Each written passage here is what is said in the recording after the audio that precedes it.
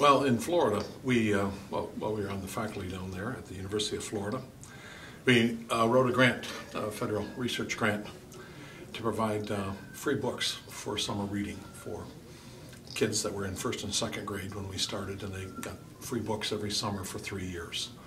So they ended up in uh, uh, fourth or fifth grade at the end of the study. And uh, we ran a book fair at, at 17 different high poverty elementary schools, uh, some in Jacksonville and some down in uh, by Lake Okeechobee, uh, down in the, the Everglades area. And uh, the majority of our, our uh, participants were minority students. The majority were black or a significant number of Hispanics, particularly down in the, in the southern part of the state. Uh, we ran a book fair, uh, brought about 400 books that we picked that, uh, that were appropriate in terms of difficulty level for the grades the kids were in, uh, and also linked them to uh,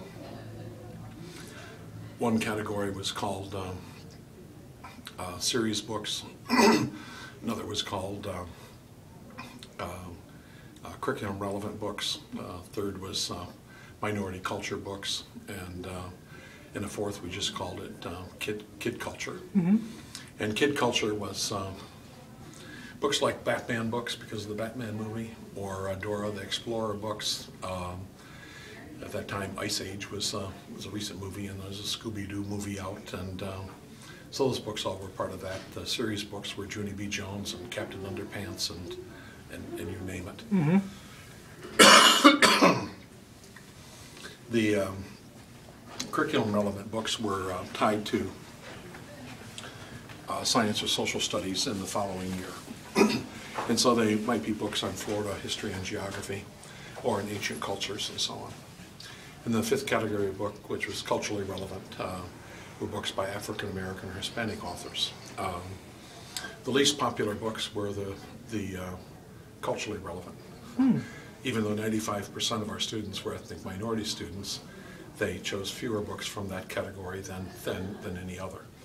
The second, the next to least popular, uh, was the curriculum relevant books. Uh, then came series books, and the most popular were what we called kid culture books. And uh, uh, one school ran counter, counter to that. Uh, the culturally relevant books were a big hit, and we went back to find out why those kids picked the books, but none of the rest of the kids did. And come to find out, the principal had gotten a grant from I don't know uh, NAACP or someone to to stock a rolling classroom read aloud library with uh, culturally relevant books. And uh, we knew there was something going on because kids were going, look, they got Pink and Say. Look, they got the, the, the Watsons Go to Birmingham, uh, suggesting they already knew these titles. Uh, but in the other 16 schools, it was like, no, no, no.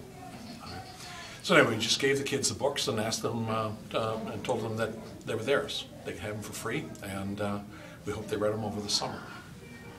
We also tried to get uh, book logs uh, returned to us, but any given year, no more than 20% of the kids actually returned their book logs. So, um, and in thinking about it as um, a parent now, I realized if my uh, second grade son had brought home a book log he was supposed to fix along with a mailer.